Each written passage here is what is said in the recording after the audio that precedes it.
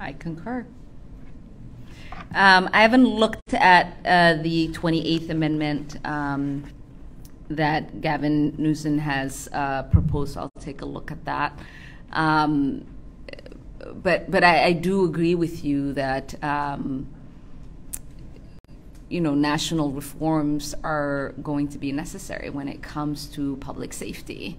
Um, I think oftentimes it, it, there there is a, a, a, sort of conversation that um, that that that is missing, and and that is how much money it costs us as taxpayers um, when we have to compensate for police misconduct. Um, and it is millions and billions of dollars just in our own city, right? If you were to calculate um, just what we've been able to pay out uh, in um, in over 10 years, it'll be nearly you know 100 million dollars, uh, if if not more. Um, and that's just like an estimate from me, just thinking about between George Floyd and with Miss Moore, Mr. Moore today, and you know all of all of the other ones.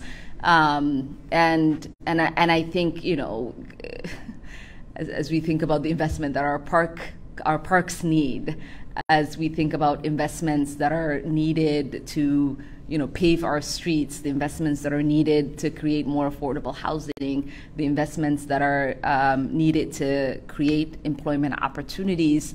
Um, there's just so much that we could be doing with that money, um, and we are we are spending money on on something uh, that we shouldn't be spending money on.